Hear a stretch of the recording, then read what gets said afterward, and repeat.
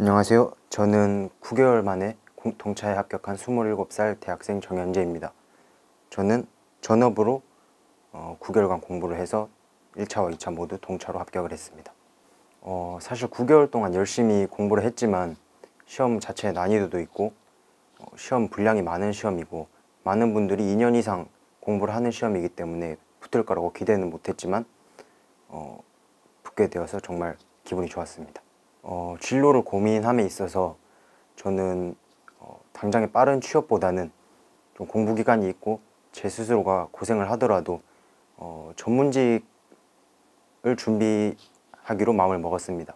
어, 길게 봤을 때 커리어에서 전문성을 쌓을 수 있고 어떤 직장에 가든지 능력을 발휘할 수 있다는 점 때문에 준비를 하게 되었고 손해사정사라는 자격증을 알게 되어 어, 저와 맞다고 생각되어 준비하게 되었습니다.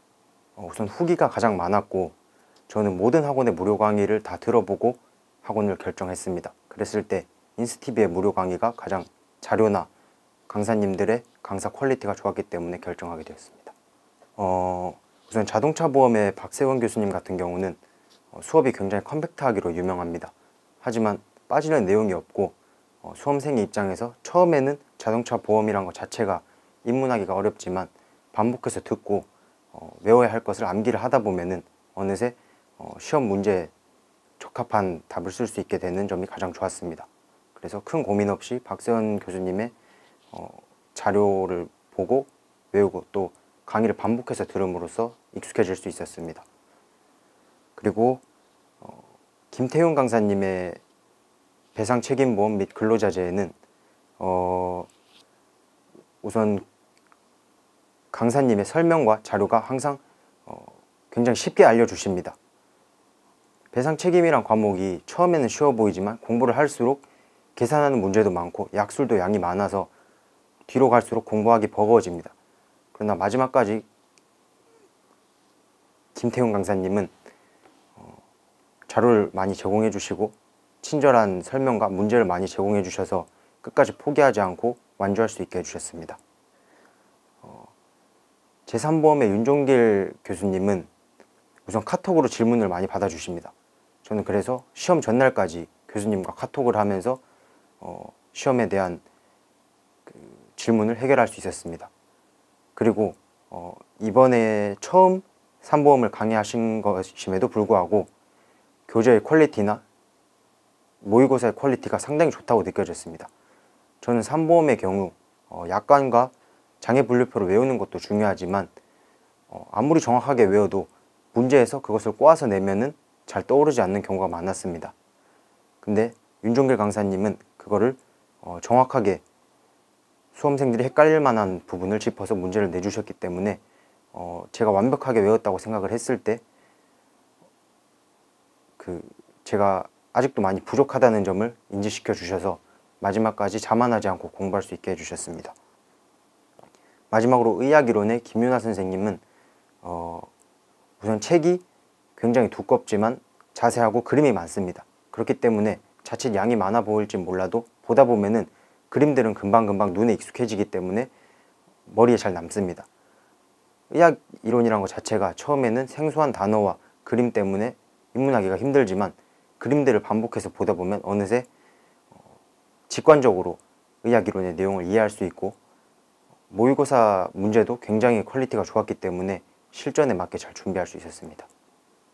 우선 저는 윤종길 교수님과 카톡으로 질문을 많이 주고받으면서 1차 시험 준비도 윤종길 선생님의 강의로 하고 2차 시험 3보험도 같이 준비를 해서 어, 저는 인터넷 강의만 들었지만 내적 친밀도가 굉장히 높다고 느꼈습니다. 윤종길 강사님은 아, 수험생의 질문을 일일이 카톡으로 어, 다 친절히 답변을 해주십니다. 그렇기 때문에 어, 처음에는 이런 것도 질문해도 될까 하는 걱정도 있었지만 나중에는 사소한 것이 생기면은 고민 없이 바로바로 바로 질문을 할 수 있고 또 강사님의 빠르고 친절한 답변이 어, 많이 도움이 되고 수험 생활에 힘이 되주었습니다. 저는 10월 중순부터 공부를 시작해서 매일 12시간 이상씩 공부를 했습니다. 하지만 처음에는 어, 2차 시험부터 공부를 시작했고 1차 시험 공부는 1차 시험 3주 전부터 2차 시험 공부를 중단하고 1차 시험에만 전념하여 준비를 하였습니다. 1차 시험회 같은 경우는 우선 보험 계약법부터 시작해서 어, 인스티비의 보험 계약법, 손해사정 이론, 보험업법 모두 인스티비의 책으로 공부를 했습니다. 이론 설명이 자세하고 문제가 많기 때문에 충분히 혼자서도 공부를 할 수 있습니다. 그러나 저는 어, 전업 수험생이었고 시간이 많았기 때문에 윤종길 강사님의 보험계약법을 반복해서 들었고 손해사정 이론과 보험업법도 필요한 부분에 있어서 강의를 참조했습니다. 3주 아, 정도 전업으로 공부한 것에 있어서 어, 시간을 낭비하였다거나 2차에 많은 집중을 못해서 아쉬웠던 부분은 없었습니다. 제3보험의 경우 약관과 장애 분류표를 정확하게 외워야 된다고 강사님이 끊임없이 강조를 하십니다. 1차 어, 합격 같은 경우는 세 과목을 보는데 그 중에서 저는 보험계약법에 가장 집중을 했습니다. 보험계약법이 쉬운 과목은 아니지만 그래도 준비를 하면 충분히 고득점을 받을 수 있다고 생각했습니다. 세 과목 평균으로 점수를 내기 때문에 한 과목에서 고득점을 맞고 나머지에서 40점을 넘기면은 시험에 효율적으로 합격할 수 있다고 생각했습니다. 보험업법은 상대적으로 양이 많고 손해사정이론은 시험 범위가 모호하다는 단점이 있습니다. 그래서 저는 보험계약법에 집중을 해서 보험계약법에 고득점을 맞도록 노력했습니다. 저 또한 장애분류표와 약관을 반복해서 어, 시험 전날까지 외웠고 그럼에도 불구하고 어, 막상 시험에서는 문제를 꼬아서 내다 보면 그 부분이 헷갈리기 마련입니다. 그렇기 때문에 어, 정확하게 장애분류표와 약관을 외우는 것은 아무리 강조해도 지나치지 않다고 생각합니다. 저도 그래서 그림도 그려보고 녹음을 해서 들어보기도 하고 손으로 써보기도 하면서 가진 방법으로 반복해서 외웠습니다. 의학이론의 같은 경우 용어가 많이 생소하고 그림도 많고 범위도 넓습니다. 그렇기 때문에 저는 제 방식대로 양을 줄이는 것이 가장 중요하다고 생각했습니다.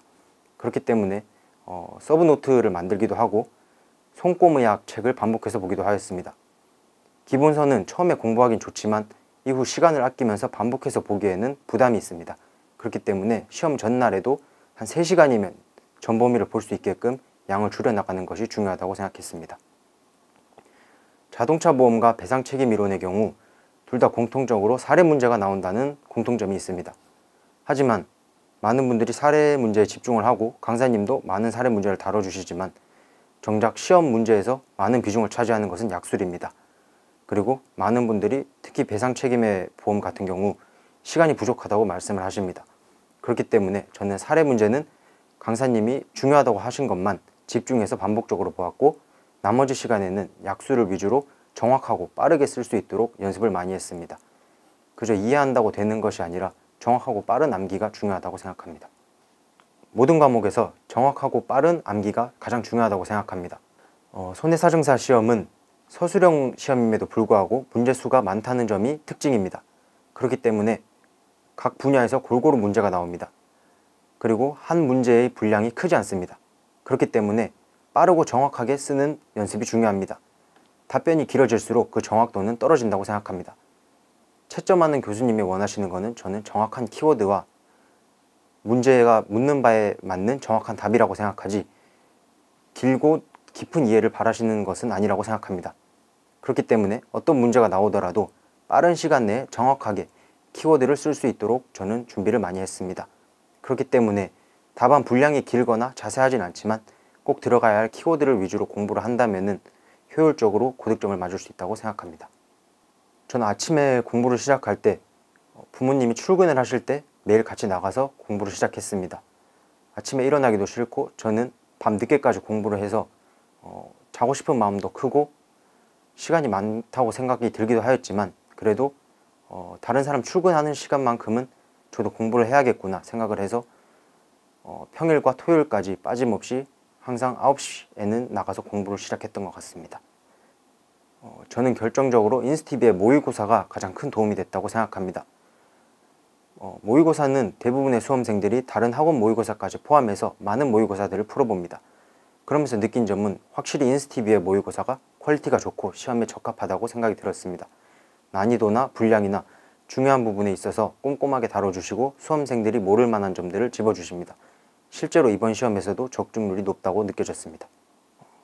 저는 주로 우선 공부가 슬럼프가 왔을 때는 어, 친구를 만나 밥을 함께 먹거나 전화를 하면서 풀었던 것 같습니다.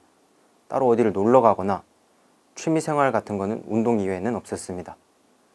그러나 중요한 것은 어, 빠른 시간 내에 효율적으로 스트레스를 해소하고 어, 슬럼프를 극복할 수 있는 방법은 저는 어, 맛있는 것을 먹고 좋아하는 사람을 만나는 것이라고 생각을 했습니다. 저도 슬럼프가 많이 오고 공부하기 싫을 때가 많았지만 어, 이 순간을 극복해서 한 시간이라도 공부를 더 한다면 저와 비슷한 수험생은 이길 수 있다고 생각을 했기 때문에 좀 독하게 마음을 먹고 슬럼프를 이겨냈던 것 같습니다. 저는 시험 당일에 루틴을 맞추는 것이 가장 중요하다고 생각했습니다. 손해사정사 시험은 서술형 시험인데도 불구하고 어, 다른 전문직 시험과 다르게 하루 만에 네 과목 시험을 다 봅니다. 아침부터 저녁까지 이루어지는 시험은 체력적으로 굉장히 힘듭니다. 그렇기 때문에 저는 이에 맞춰 훈련하기 위해서 한 달 전부터는 거의 점심을 먹지 않고 아침부터 저녁까지 공부하는 훈련을 했습니다. 실제로 처음에는 좀 힘들었지만 시간이 지나면 그 생활에 익숙해지고 집중력도 올라가는 것을 느꼈습니다. 저는 이렇게 당일에 맞춰서 루틴을 정하는 것이 의외로 시험에 중요하지 않았나 생각합니다. 저는 이 과목의 배상 책임 보험의 시간 부족 문제 때문에 많은 고민을 했습니다. 항상 정확한 답변은 쓸 자신이 있는데 시간 내에 답변을 다 쓰지 못할까 걱정이 되었습니다. 그렇기 때문에 저는 저만의 문제풀이 순서를 정해두고 시험 직전 파본 검사를 할 때 시험 문제가 내 예상대로 나왔는지 확인을 하면서 파본을 검사했습니다. 그렇게 되면 시험에서도 저의 루틴대로 연습했던 대로 시간 낭비 없이 시험을 잘 응시할 수 있었던 것 같습니다. 2차 시험이 가까워질수록 약술 문제나 의학 이론의 내용 그리고 산보험의 약관 등과 같이 많은 양 때문에 좌절을 하게 됩니다. 암기했던 것도 또 잊어버리고 모의고사 칠 때 되면 성적이 잘 나오지 않아 고민을 많이 하고 포기할까도 많이 생각하게 됩니다. 그럴 때마다 고민하지 않고 어, 부족한 부분을 그때그때 채워나가며 스트레스 받지 않고 포기하지 않는다면 어, 누구나 빠르게 합격할 수 있다고 생각합니다. 가장 중요한 것은 정확하고 빠른 암기이기 때문에 어, 이해를 했다고 자만하지 않고 또 마지막까지 좌절하지 않고 정확하게 암기를 하고 끝까지 완주하신다면 분명 좋은 결과가 있을 거라고 생각합니다. 제가 20대가 되어 어, 가장 처음이자 어, 가장 큰 보람을 느끼면서 공부를 했던 어, 시험이었던 것 같습니다. 아직 제가 이렇게 공부에 많은 노력을 한 것도 처음이었고 무언가를 간절히 바란 것도 처음이었습니다. 그렇게 소중하게 얻은 자격증인 만큼 앞으로도 좋은 손해 사정사가 되도록 많은 노력을 할 것입니다.